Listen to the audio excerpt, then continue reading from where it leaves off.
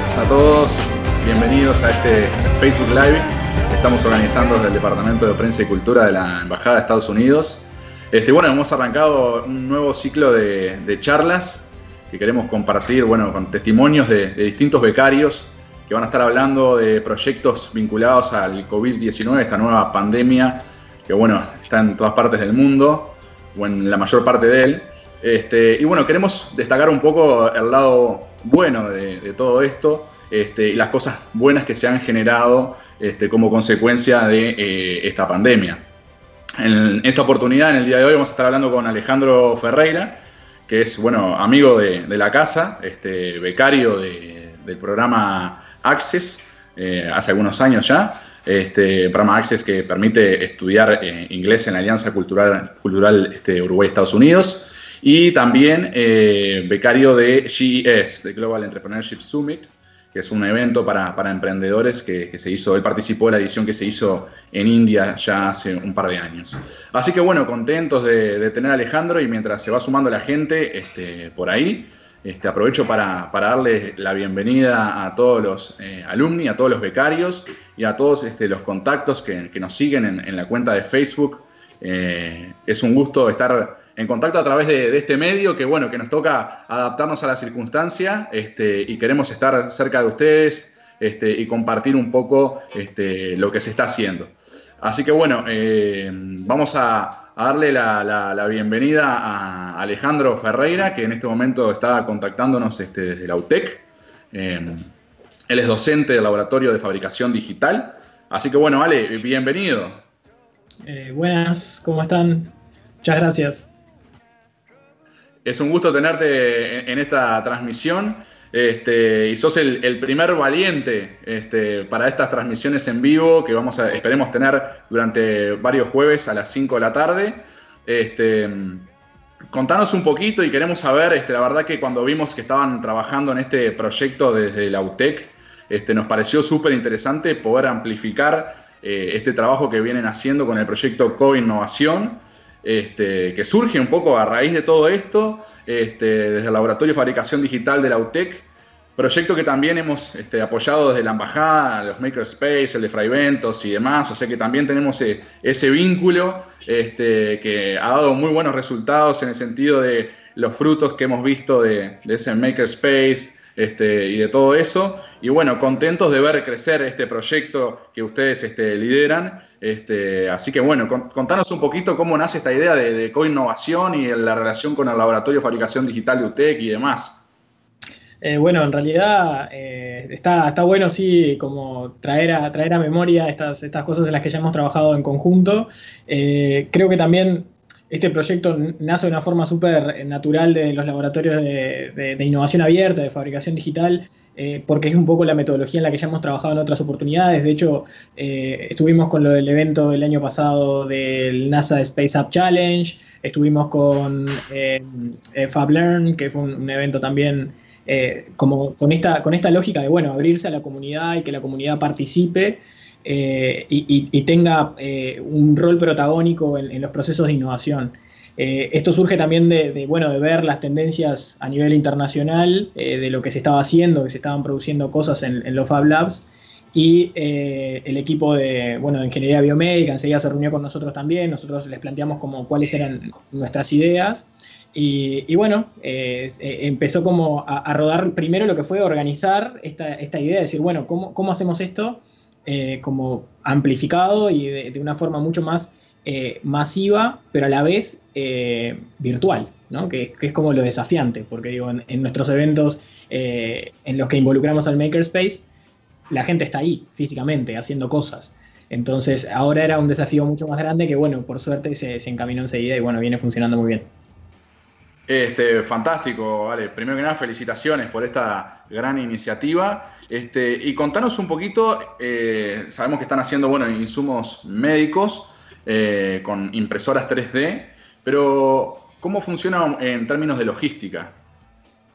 Bien, eso en realidad es como la, parte más particular del, proceso, que es como lo, más interesante, creo, e, e, e innovador de por sí, Y es que, claro, en realidad el proyecto funciona basado en una red de, colaboración de voluntarios que están totalmente descentralizados. O sea, estamos hablando de que trabajamos con. En este momento tenemos unos 350 voluntarios activos, de 700 que se, que se anotaron al proyecto. Eh, y bueno, y muchos de ellos son los que configuran nuestro, nuestra como granja de impresoras 3D en las que se imprimen los insumos. Y nada, esto funciona porque los voluntarios están ahí, digamos, ¿no? O sea, estamos hablando de personas comunes en sus casas que tienen eh, la, posibilidad de tener una impresora y dicen, bueno, yo voy a destinar horas de mi tiempo y de mi máquina para, poder imprimir estos, estos elementos. Entonces, bueno, nosotros lo que hacemos es distribuimos material. Eh,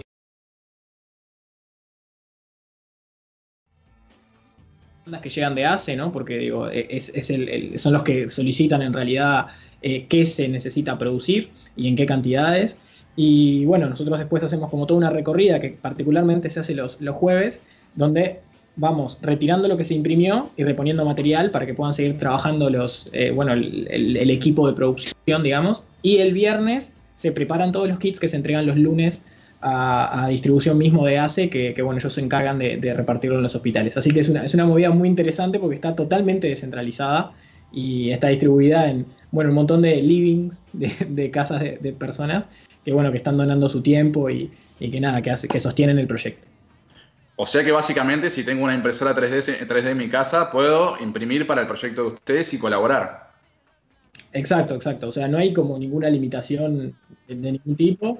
Y bueno, tratamos sí de, garantizar que las personas no tengan que salir. Así que eh, lo único que hay que hacer es como, bueno, eso, disponer de cierto tiempo para cuidar de la máquina y poner, imprimir algunas cosas, pero nosotros nos encargamos del resto y de que la ayuda llegue a destino. ¿Cómo surge la, idea, no? O sea, eh, ¿estaban reunidos ahí en una clase o algo? ¿Dijeron qué podemos hacer? ¿O, fue iniciativa de ustedes? ¿O vino así y les planteó una necesidad? ¿O surgió de ustedes mismos?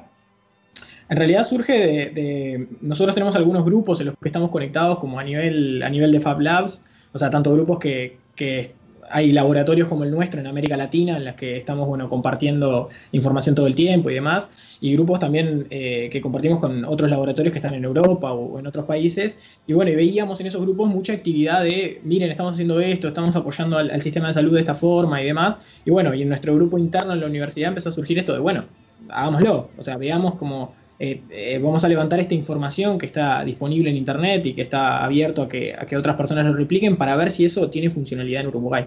Y por ahí en realidad es que primero investigamos a nivel interno, o sea, con nuestros expertos en ingeniería biomédica de la universidad, eh, bueno, qué tan viable es esto.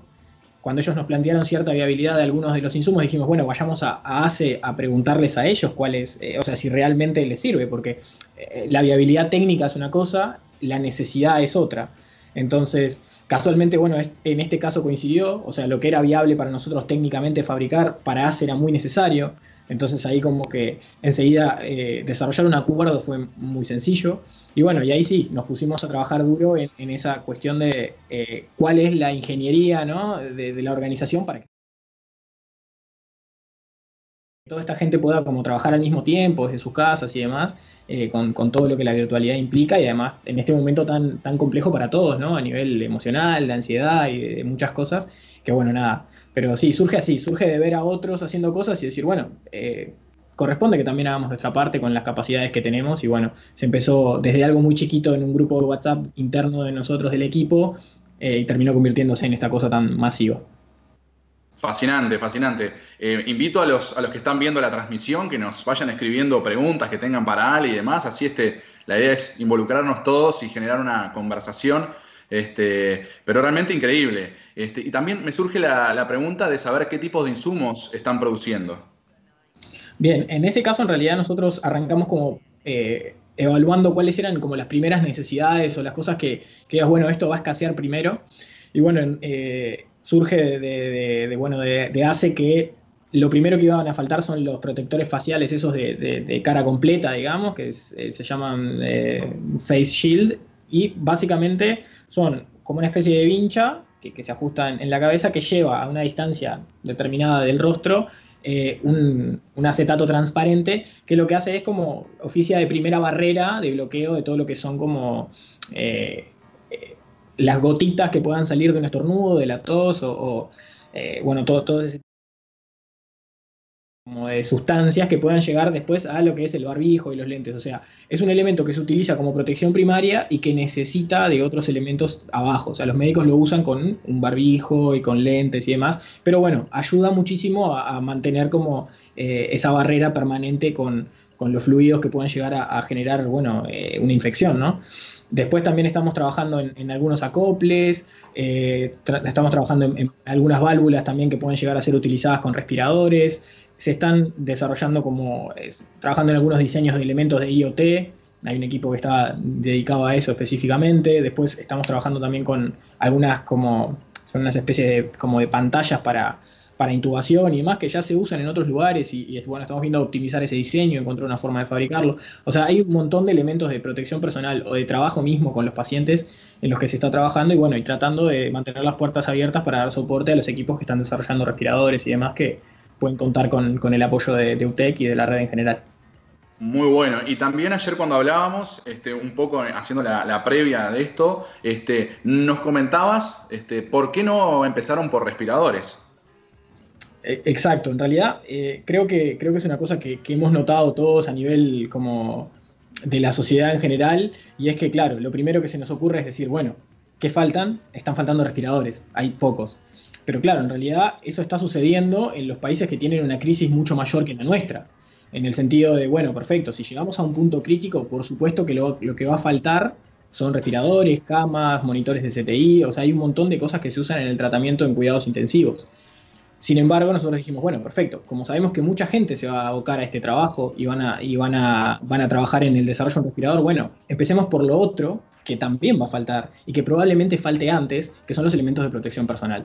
Entonces, eh, dijimos, bueno, seamos como complementarios y no estemos todos trabajando en la misma línea, ¿no? Es como, como una cosa de, las posiciones en un partido de fútbol, ¿no? O sea, no estamos corriendo todos atrás de la pelota, sino que estamos tratando de atacar otros frentes o, buscar como que nuestra estrategia tenga que ver más con prevención y con ayudar a prevenir algunas cosas. Y bueno, y eventualmente si podemos ayudar a los equipos que, están desarrollando estos respiradores para, para, uso, en caso de emergencia, bueno, vamos a estar ahí a disposición para, para ayudarlos. Ale, una pregunta que nos llega acá a través de, Facebook es eh, de Ever García. Eh, información de los tiempos de producción y de qué dependería. O sea, me imagino que va al tema de los, de los insumos. Exacto. en realidad, por ejemplo, eh, las pantallas, que es lo que tengo más fresco, digamos, cada, cada, uno de los, de los elementos de, la, de, las vinchas, digamos, que es lo que se imprime, están llevando, dependiendo de la máquina también, ¿no? Pero llevan aproximadamente unos 45 minutos más o menos, producirse cada uno que lo bueno de ser muchas máquinas a la vez es que, claro, en 45 minutos de repente puedes hacer 50 porque tenés 50 máquinas trabajando. Eh, que no están todas juntas, pero, pero nada. También vi algo particular en una de las fotos que dice, si la patria me llama, una de las mascarillas, ¿no? Eh, ¿A qué se debe esa frase? Y bueno, contanos un poquito su historia. Bueno, en realidad ahí surge bueno, una interacción en, Twitter eh, con, bueno, con un, usuario de Twitter que sube un video en el que se ve imprimiéndose una válvula, un modelo de válvula que los italianos estaban, estaban trabajando y que ya nos había llegado por la red. Y nosotros internamente ya habíamos arrancado esta investigación de habilidad, ¿no? Y habíamos impreso algunas cosas, incluyendo una válvula de esas. Y bueno, esta persona preguntaba, bueno, eh, alguien que lo pueda hacer. Y amigos míos me etiquetaron en ese, en ese tweet y yo le respondo con una foto de, bueno, lo estamos haciendo, eh, como, bueno, desde usted que estamos como empezando a trabajar en esto, y le puse un hashtag que era si la patria me llama, ¿no? Porque todos sabemos que después de eso viene un aquí estoy yo, que creo que es como esa actitud que, que por suerte nuestros, nuestros voluntarios han demostrado de que, bueno, eh, la patria llamó a estas personas y ellos han respondido y, y bueno, y se pusieron a disposición y eso creo que nos representa bastante. Muy bueno, una marca personal también a las, a las, a las mascarillas, ¿no? Que queda ahí sabiendo que también es producción de ustedes, colaboración desde de, UTEC. Otra preguntita que nos llegaba por acá de Flor Renart es, me gustaría saber cómo se distribuyen los elementos luego de impresos. Eso en realidad después de que se imprimen, nosotros montamos los kits. Eh, o sea, son kits que cada uno tiene una vincha, un acetato, vienen con el elástico puesto y demás. Nosotros nos aseguramos de chequearlos todos, de que funcionen bien. Los ponemos en, en, una bolsa individual, porque eso después se van a entregar como de forma más individual. Van en cajas, en unas cajas de A75 más o menos, para que facilite el, transporte hasta los lugares donde se van a separar. Y directamente de hacer la distribución en los hospitales, o sea, según lo que van viendo que es como eh, prioritario atacar, digamos. O sea, nosotros nos encargamos hasta la parte en la que le entregamos la caja a ACE con todos los kits adentro y después ellos se encargan de, la logística más propia de los hospitales. Excelente. O sea, otra pregunta que nos llega por acá, si tengo una impresora 3D y quiero colaborar, ¿cómo, me contacto con el proyecto? Ahí nosotros tenemos un correo electrónico que se llama eh, eh, el CoinNova es, eh, lleva doble N, por las dudas. Eh, de todos modos, estamos trabajando en una plataforma que todavía no está, no está terminada al 100%, pero los voluntarios están ahí como metiéndole bastante, que es coinnovación.org, que ahí tienen, van a ir teniendo información más actualizada de, cómo viene el proyecto y de cómo se pueden sumar y qué, pueden aportar. lo van a tener ahí Ale, eh, ¿cómo hacen con el tema de los insumos? Este, ¿Ustedes tienen gente que les está donando? ¿También se pueden contactar para, donar insumos para el, para el proyecto? Exacto, nosotros ahí contamos con donaciones, eh, también contamos con una donación que nos hizo eh, Santander Universidades, que, donó, un capital para, poder empezar, y digo, de hecho es, como gran parte de lo que está funcionando, el proyecto está funcionando gracias a ese, a por supuesto, han habido un montón de aportes individuales de personas que se comunican con nosotros a través del correo y enseguida como combinamos y eso, y, estamos funcionando así. Así que, digo, las donaciones son bienvenidas, eh, se comunican con nosotros, coordinamos la logística para también no generar ¿no? ese movimiento en la ciudad que, que, estamos todos tratando de evitar como medida preventiva. Y bueno, coordinamos y retiramos las donaciones donde, donde sea necesario para que la gente que está mirando también tenga idea de qué cantidad se produce. Este, me decía que están produciendo una cantidad importante de, insumos. Sí, de hecho nosotros llevamos entregados ya, o sea, productos que ya se entregaron a ACE. Eh, este lunes llegamos a los 1300 y en este momento tengo acá a la vista lo que, lo que hicimos, la recorrida de los puntos que tenemos en Ciudad de la Costa al día de hoy. Tenemos 500, 500 vinchas más, así que nada, eh, según mis cálculos y cómo vienen las cosas, seguramente para este miércoles, eh, para este lunes, digo, vamos a entregar otras 1500 aproximadamente, o sea, otros 1500 elementos más, que van a sumar un total de 2800 con los que ya venimos entregando. Entonces, el objetivo nuestro es, antes de que termine este mes, entregar eh, los, los 5000, los primeros 5000 con los que nos comprometimos, que, bueno, sabemos que puede cubrir prácticamente la totalidad de, bueno, de la demanda de ACE. ¿Cuál crees que es el mayor desafío de, coordinar eh, un proyecto como este en, medio de una pandemia? Creo que ahí, eh, creo que hay, te diría que hay dos desafíos grandes. El primero de todos es la confianza. Creo que más que, más que nunca hay que construir lazos de confianza con, personas que nunca, nunca nos vimos. O sea, todos los voluntarios que se suman eh, me vieron por primera vez en una pantalla un lunes a la mañana, 10 de la mañana, diciéndoles muchachos, podemos hacer esto juntos y y no, y no, o sea, no nos conocemos. Entonces, eso de crear confianza a través de una pantalla es una tarea súper difícil y, creo que es como clave para, poder trabajar. Y lo segundo es eh, el tema de la duración, ¿no? O sea, esto es como cada uno que se sumó asumió una especie de compromiso eh, por un montón de tiempo, porque ya llevamos más de dos semanas trabajando juntos y, es complejo sostener ese ritmo, digo, eh, sabiendo que nada, es toda una cuestión de coordinación de horarios, cada uno tiene su familia, su vida, un montón de cosas que hacer, y bueno, y a su vez están aportando a esto, así que creo que esos son los, dos grandes desafíos, ¿no? la confianza y el sostener en el tiempo un proceso de este tipo. También hablando de sostener en el tiempo, imagino que este, también en, las cabezas de quienes forman parte de, un proyecto como este hoy en día se preguntarán qué va a hacer después que la pandemia termine o lo que sea. me parece que se está pensando en, el futuro del proyecto también y, cuáles son los siguientes pasos que, puede tomar. O sea, esto mismo que se aplicó a la necesidad en este momento también puede ser útil en cualquier otra circunstancia eh, para cubrir cualquier otra necesidad. ¿Cuáles son las proyecciones que ustedes tienen? Exacto. En realidad eso es, algo que nos, planteamos como algo súper interesante. Creo que también tenemos un compromiso como universidad de generar alguna producción académica ¿no? sobre, sobre esto, que es, es una cosa que no tiene que ser, eh, yo creo que lo, mencionaba en algún momento eh, hablando como en la interna del equipo, de bueno, esto no tiene que ser anecdótico, no tiene que ser vos, miren lo, que se está logrando, cómo, cómo, la comunidad logró responder a este tipo de, de situaciones, que está, es una emergencia pero sí tiene que ser un precedente de miren lo que podemos hacer, ¿no? si nos juntamos, si alineamos esfuerzos, si nos coordinamos. Entonces está, está como ahí en el, en, en el tintero de, bueno, cómo seguimos, o sea, hacia dónde sigue coinnovación, en qué se va a trabajar, o sea, cómo se van a articular estos espacios en el futuro.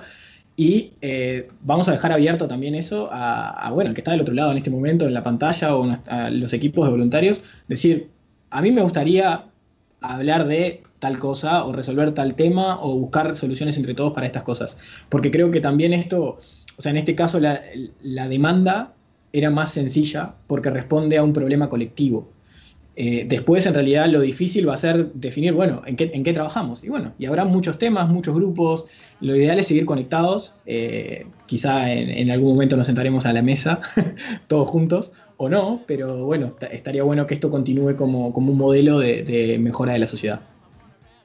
Creo que lo innovador también es la, dinámica de trabajo colaborativo, desde que cada uno en su casa pueda aportar eh, de cierta medida. Eh, y bueno, en realidad también consultarte para aquellas personas que de repente están en su casa eh, pensando en comprarse una impresora 3D, más o menos cuáles son los costos que tiene una impresora 3D, más y, los, y bueno.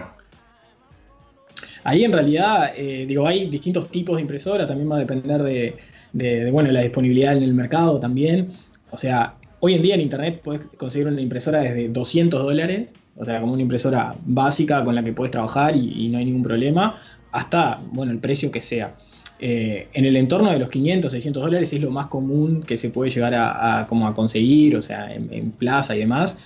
Digo, en ese sentido, por suerte, es un, es un mercado que ha tenido la posibilidad de bajar sus costos muchísimo. O sea, las impresoras hace, no sé, 10 años valían una fortuna y hoy en día estamos hablando de precios que son un poco más caras que un microondas. O sea, no, estamos hablando de, algo inaccesible. Así que nada, son este tipo de instrumentos y herramientas que ya podemos ponerle el tic de que sirve para combatir una pandemia. Perfecto, buenísimo. Eh, vamos a ir cerrando, o sea que si alguien que tenga alguna pregunta puede escribirla todavía en, la transmisión de Facebook. Eh, pero, ¿qué consejo le darías a aquella persona que está pensando en ejecutar un proyecto en este momento o que está este, ya implementando un proyecto que tiene que adaptarlo a las circunstancias actuales. ¿Cuáles son los tips? Y yo creo que ahí lo, importante, creo que lo, fundamental de esto siempre son los equipos. Creo que eh, nosotros particularmente teníamos la ventaja de ya trabajamos juntos, o sea, el equipo de los LAVA, de los laboratorios abiertos de, innovación, ya trabajábamos juntos desde mucho tiempo en este tipo de dinámicas y además trabajamos descentralizados.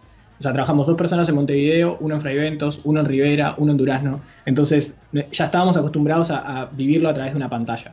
Eh, pero creo que lo principal ahí es como formar un buen equipo, confiar en las personas, o sea, con las que estás trabajando y eh, tener la, como la capacidad de decir, eh, en esto estamos como para sumar, ¿no? Entonces, ver de qué, de qué forma podemos como apoyarnos unos a otros en las cosas que uno es mejor y el otro puede como eh, llegar a necesitar, creo que ahí es clave. O sea, identificar dónde puedo colaborar con mi equipo y cómo, cómo estoy sumando es eh, principal para cualquier tarea.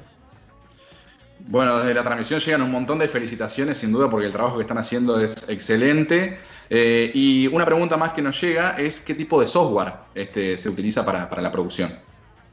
Ahí en realidad nosotros tenemos un equipo que se dedica específicamente a la parte de diseño y prototipado. Eh, esos tienen subgrupos que trabajan con el diseño de las piezas y bueno, después cada, cada productor, digamos, cada uno que tiene la producción, usa su software que, es como compatible con su impresora. El software más común que hay para hacer slicing, que es como, bueno, le llega el modelo del grupo, ¿no? Porque todos imprimimos lo mismo, entonces eso simplifica pila de cosas. Te llega el modelo por correo, por WhatsApp o por donde sea que llegue, lo pones en tu slicer, que en general usan todos el Cura, que es un slicer gratuito, que nada, es de código abierto además lo procesan para su máquina y se imprime. Digo, en ese sentido, como que cada uno después termina trabajando con, el software que mejor se ajusta a su impresora y los modelos vienen como de este grupo de, bueno, de diseño y prototipado que han hecho, han hecho su magia y nos han permitido optimizar los modelos de una forma excelente. Ale, para cerrar ya, eh, la, la, página web está en construcción. Repetinos si querés cuáles son los medios de contacto y, cuál, y cómo la gente puede colaborar. Bien, ahí en realidad digo, el, medio de contacto en este momento así, el oficial oficial es eh, que es el correo electrónico. Ahí nos escriben, nosotros tratamos de mantenerlo bastante al día, o sea, a veces nos demoramos un poco porque por suerte hemos tenido un flujo bastante grande de, contactos por ahí, eso es, positivo. Y bueno, estamos recibiendo eh, tanto donaciones de material para imprimir como de acetatos, que es como el, material que se usa para, construir la, la careta, la parte transparente. Eh, y bueno, y después de ahí seguramente vamos a ir lanzando otras propuestas en, el, sitio, que es eh, coinnovación.org, que básicamente ahí se van a ir como planteando otros proyectos, no sé, ya sea lo de las pantallas para, tratar como para trabajar en la intubación de un paciente y demás, que se hace con un acrílico. Eh, seguramente se van a recibir donaciones de esas cosas también, pero ya se va a hacer por, la, por la web, así que bueno, tenemos el compromiso de para mañana, al final del día, tenerlo impreso, digamos, ¿no? O sea, ya publicado y funcionando. Impecable, Ale, te quiero agradecer en nombre de la Embajada de Estados Unidos y de toda la gente que, está viendo esta transmisión, que, por cierto es mucha y mucha gente te está felicitando, transmitirle nuestras felicitaciones también a todo el equipo de voluntarios que está haciendo este trabajo genial en este momento en que necesitamos este tipo de gente que sume, que apueste a más, que se la juegue por empezar un proyecto en medio de una pandemia, así que agradecerte por, todo el trabajo y por tu tiempo en este momento. Y, bueno, felicitaciones nuevamente. Bueno, muchas gracias a ustedes por darnos el, espacio y por, generar esta vía de comunicación que, para nosotros es importante. Ya hemos trabajado muchas veces en conjunto y creo que, las cosas eh, siempre, siempre han salido muy bien y, eso motiva mucho a, bueno, a continuar con estos lazos. Totalmente, gracias a ustedes a la UTEC por, siempre esta buena relación que hemos tenido y bueno, ojalá podamos sigamos trabajando juntos en, el futuro. Muchas gracias. Gracias a, gracias a todos los que nos están siguiendo en la transmisión y bueno, los esperamos el próximo jueves a las 5 de la tarde con eh, Nicolás Albertoni, analista internacional que desde la ciudad de Los Ángeles va a estar contando su visión de la pandemia en los Estados Unidos eh, y también un poco cómo va a estar, cómo va a ser el día después en las relaciones internacionales, la economía del mundo, en este escenario de incertidumbre. Próximo jueves a las 17 horas. Hasta pronto.